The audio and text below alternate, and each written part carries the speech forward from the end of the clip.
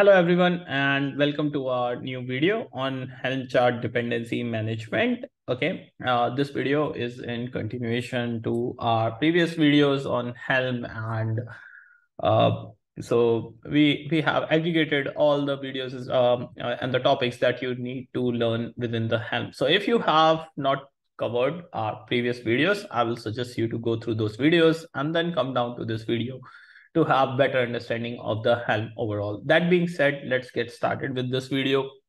So in this video, we are going to discuss about the Helm chart dependency management. Now, what is this dependency management and why will we uh, actually needing it? So you need to understand that when you are working on the complex applications that may be dependent upon more than one uh, thing. That is, let's say your uh, application is dependent upon a database and without the database, your application won't come up and running. So this is what we call as a dependency because your application is now dependent upon that database. So that is basically your dependency within the Helm itself. Okay. Now within the Helm, you are able to manage the dependencies. So Helm chart dependency management allows you to easily manage these dependencies of your uh, Helm charts. Dependencies are often used for deploying the complex applications or services that require multiple components to be deployed uh, together. Okay. So let's see uh, uh, how we can manage the dependencies. For managing the dependencies, you are required to create what is known as requirements.yaml file. The requirements.yaml file allows you to specify the dependencies for your Helm charts. So you can specify the name of the chart, the version, and the repository where the chart is located. Okay. So that way you are basically indicating that the Helm chart that you are going to deploy is basically dependent upon another chart of another version and the repository. So you can specify that inside the requirements.yaml file. And this is very similar to how we do it in Python. We have a requirements file and we specify all the dependencies there, and then the Python is able to execute. Similarly is with the case with the Helm that it looks at this requirements.yaml file and basically identifies that uh, the current uh, chart that you are deploying is dependent upon another chart and then it go ahead and deploy that first and then your current chart like that right? So this is how it is able to meet the dependencies requirement.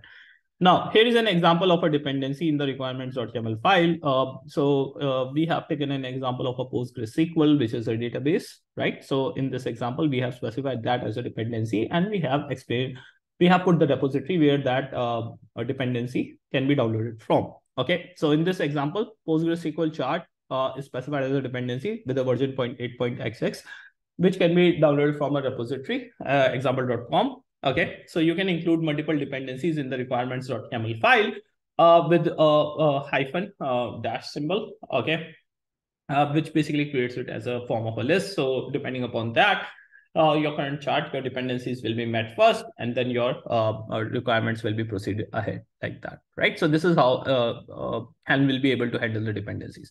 Now, once you have defined the dependencies inside your requirements.yaml file, you can install them using the Helm dependency update command.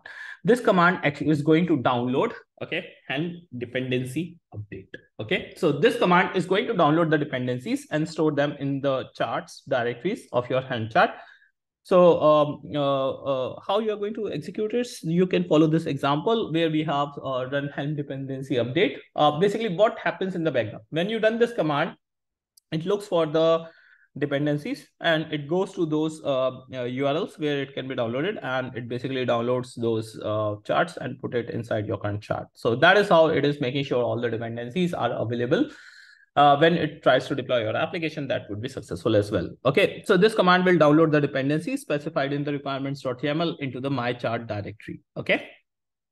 Now, uh, once you have done this, uh, you can use the dependency charts. Uh, now, once the dependencies are downloaded, you can use them in your Helm charts templates as if uh, they were a regular Kubernetes objects. Okay, so you can refer to the dependency templates using dot chart dot name and dot chart dot version variables. So here is an example for you, which you can follow for managing the dependencies.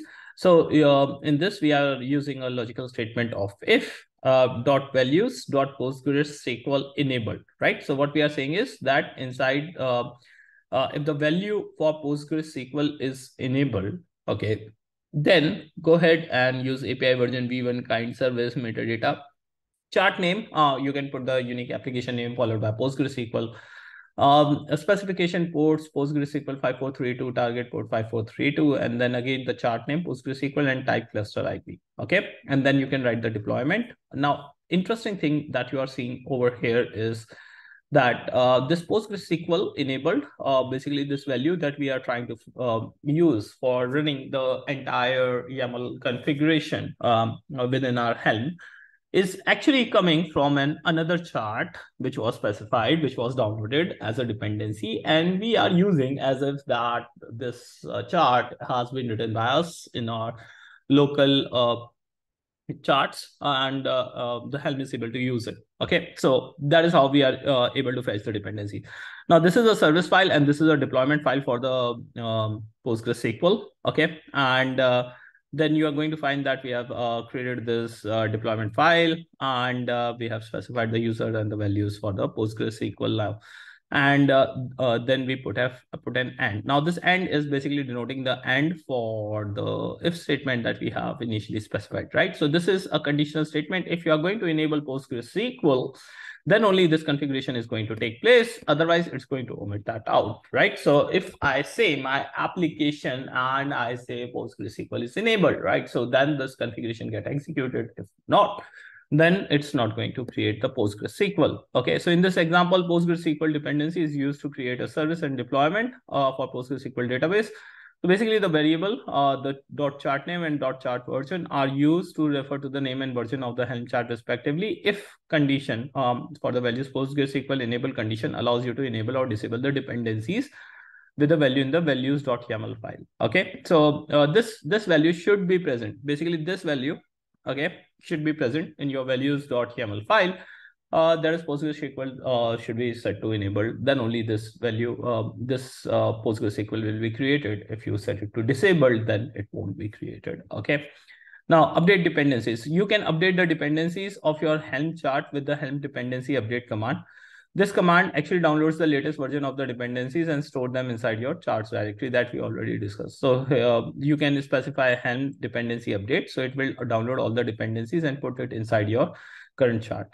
So this will get downloaded uh, as specified in the requirements.yaml file that we already discussed. So in summary, uh, managing the dependencies in the Helm charts is an important aspect for deploying our complex application or services by defining um, in the requirements.yaml file, installing them the Helm dependency update command and referring to them in your Helm chart templates, you can create more flexible and reusable Helm charts. The dependency management feature of Helm allows you to update dependencies easily and keep your charts up to date uh, with the latest version of the dependent components. By using this feature, you can simply um, uh, and streamline your deployment process and reduce the risk of errors and inconsistencies in your application or services like that. Okay, so uh, you would see that there are numerous advantages of using this dependency management because uh, that way you are able to uh, use the other services on which your services are dependent and you can uh, uh, efficiently manage it and reuse the Helm charts, right? Uh, you don't have to recreate again and again and duplicate the same stuff again and again. So that kind of thing is uh, handled by the dependency management, okay? And uh, that way also you you can keep your charts up to date. Like suppose if I have to change the PostgreSQL version over there, then the latest version would eventually be fetched and uh, maintained for me as well. So I don't need to go at several places and change the version accordingly to manage that my same version of PostgreSQL should be running across the different configuration file and I have to open each one and make a change. Instead, I'm just going to make a change inside one of them and eventually I can expect that most of the application is going to pick up the, those same configurations. So I can um, better stick to the IAC practices and uh, this is going to reduce the risk of error and inconsistency in the applications as well for me. Okay, so this is how we can manage the uh, uh, dependencies. Okay. All right, so guys, this completes our theory part. And next we are going to start with the labs for all the theory part that we have covered for the Helm till now. So stay tuned. Um, if you have not subscribed to our channel, do subscribe to our channel. And uh, in the ahead videos, you can uh, expect the practical aspect of the Helm. I'm going to create a separate series for it. So that people who are directly interested more in hands-on approach to Helm can follow it and do the hands-on. And uh, people who are more aware of the theory always understand that when you're going through the theory, it will help you in the interview process and the better understanding and troubleshooting aspects. But it's particularly fine if you want to go through the practical part, go and uh, follow the practical series that I'm going to upload for the Helm and you can follow and practice, do the hands-on directly. All right, so that's all. Uh, if you're not subscribed to our channel, do subscribe to our channel for uh, getting up-to-date videos. And uh, that's all for this video. Thank you.